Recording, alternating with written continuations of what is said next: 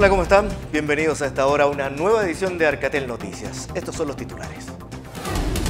Cambios al sistema de elecciones y a la constitución marcan la discusión política a pocos meses de las elecciones generales. La iniciativa de reforma al binominal propuesto por la concertación IRN evitaría una asamblea constituyente. Dirigentes de la CUT preparan el escenario para la jornada de paro anunciada para mañana. Varias organizaciones laborales y civiles apoyaron el llamado. Autoridad Sanitaria de Valparaíso confirmó 40 casos de H1N1 en la región. La mayoría no recibió la vacuna contra la influenza. En Concepción, así como en varias ciudades, los integrantes de la CUT se están preparando para el paro nacional convocado para este jueves, una situación que agrupará a varios sectores y que tiene en alerta también a las autoridades. Los detalles se la nota de Alejandra Vera de TVU Concepción. Es la antesala del paro nacional de este 11 de julio. Integrantes de la CUT pertenecientes a distintos sectores se manifestaron contra las AFPs y el sistema tributario. Una movilización pacífica que calienta los ánimos para una convocatoria que se anuncia hace días. Los trabajadores se preparan para salir a las calles este jueves. Tenemos confianza en que va a ser una amplia convocatoria porque todos los sectores afiliados a la CUT se han pronunciado favorablemente por lo tanto, esperamos reunir una cantidad importante de trabajadores en el centro de, centro de Concepción. Funas a las AFPs que no pasaron a mayores, pero que sí ponen en alerta a las autoridades para tomar medidas de seguridad que aseguren un buen funcionamiento ante un jueves que se prevé convulsionado. Yo quiero señalar que es lamentable que nosotros como gobierno tengamos que elaborar una estrategia que tenga por objeto asegurar este buen funcionamiento y que gastemos horas preciosas de nuestro trabajo en esto.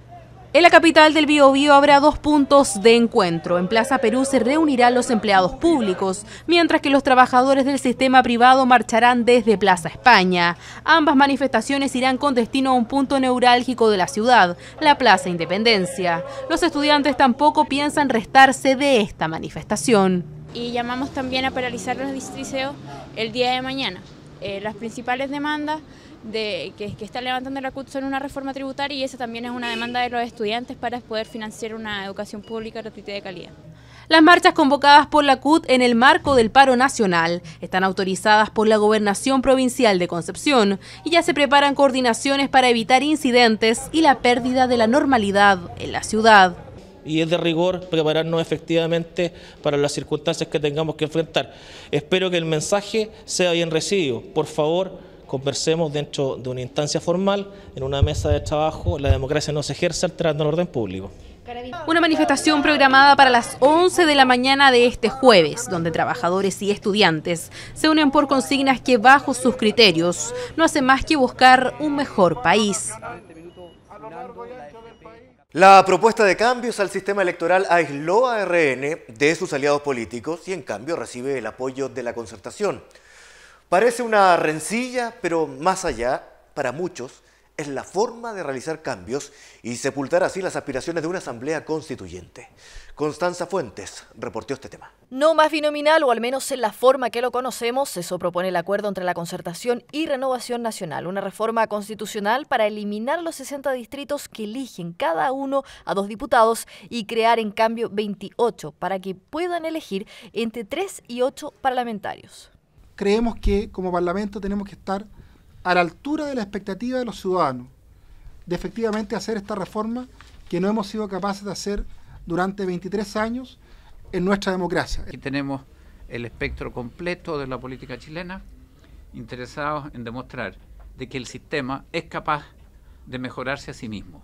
Una noticia que causó sorpresa y mucho malestar en el gobierno y la UDI. Acusan a RN de actuar a escondidas, un acuerdo a puertas cerradas, dicen. Para otros suena estrategia para anticiparse a una asamblea constituyente y enmarcar los cambios dentro de la institucionalidad vigente. El mismo senador Francisco Chaguán lo dijo, de esta forma la política vuelve a manos del Congreso. Por su lado, ciudadanos miembros de Marca Tu Voto llegaron hasta el CERVEL para pedir que durante las próximas presidenciales las instrucciones para los vocales de mesa sean claras y que los votos marcados con una AC además del candidato sean registrados en las actas. Nos preocupa que eh, todavía hay ciudadanos que piensan que si al marcar una preferencia se agrega las letras AC, el voto es nulo.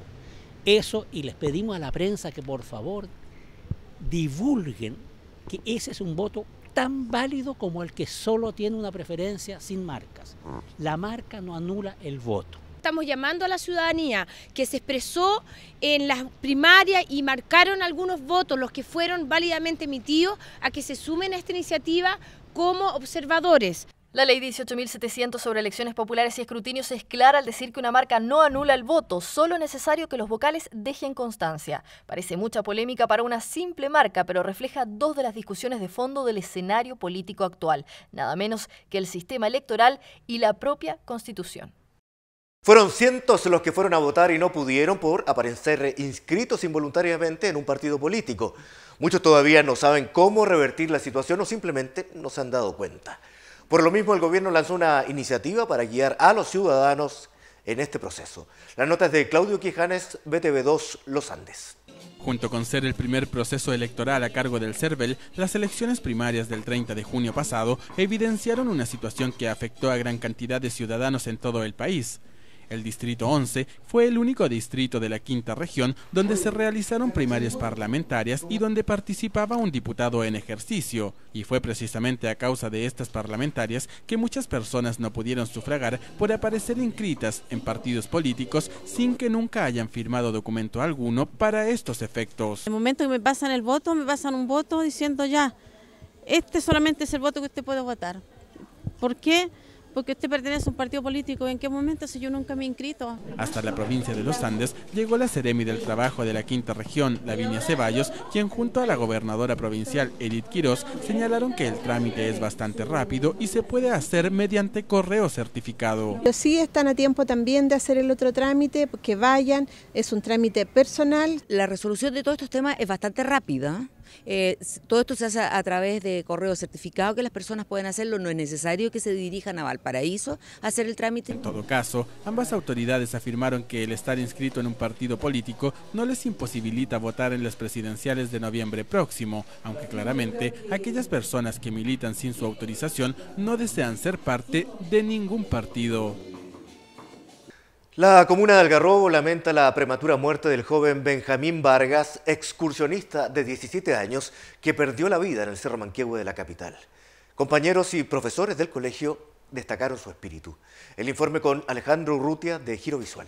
La tarde de este pasado martes, Benjamín Vargas Pérez, quien residía en Algarrobo y se encontraba de vacaciones en la capital, subió el cerro en compañía de un amigo de 18 años para practicar escalamiento y ascenso. De acuerdo al testimonio de su amigo, el joven tropezó cuando descendía, lo que provocó que cayera a una quebrada de unos 30 metros de profundidad.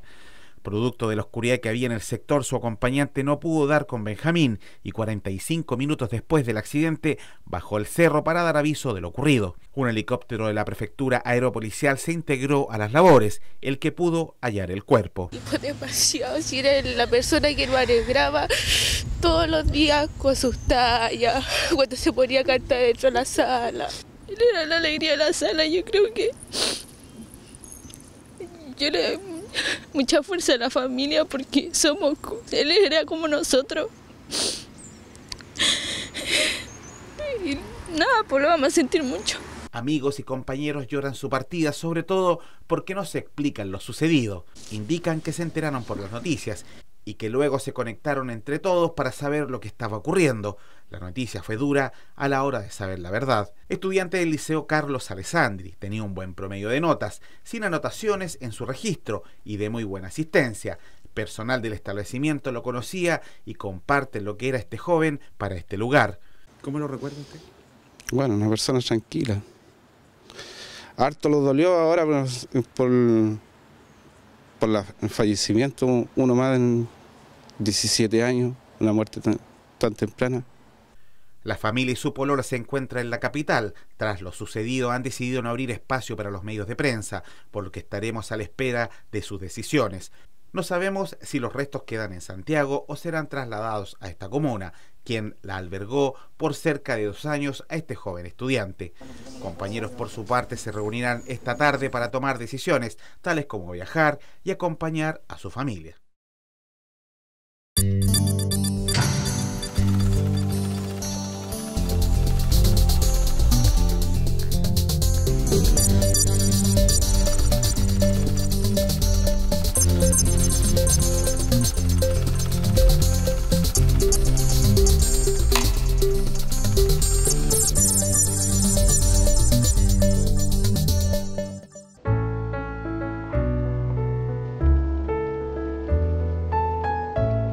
Esta afición por, eh, por, el campo, la naturaleza, las cabras, parte desde muy niño y unido a, una cuestión genética por parte de mis cuatro abuelos que provenían de los Alpes italianos, eh, me dediqué a, este hobby que finalmente se transformó en un proyecto de vida. Al comenzar, eh, al, poco andar, me di cuenta que mis expectativas habían sido altas en relación a la realidad, eh, lo cual causa frustración. Eh, las ventas no eran como, se esperaba. vi redes de apoyo, posibilidades de, de ayuda de diversa índole y eran escasas o bastante nulas, entonces a consecuencia de eso tienes que mm, sacrificar mucho de tu tiempo, eh, lo cual te obliga a llevar un ritmo de trabajo fuerte, prolongado, y en el tiempo, en los años, eso comienza a tener eh, repercusiones en tu vida familiar, en tu vida personal.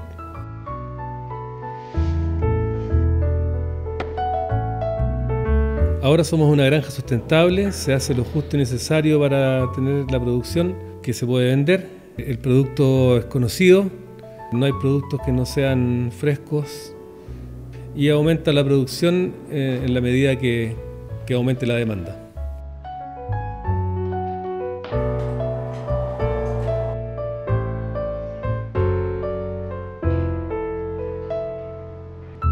Producimos quesos de cabra artesanales hechos con leche pasteurizada bajo norma de ley.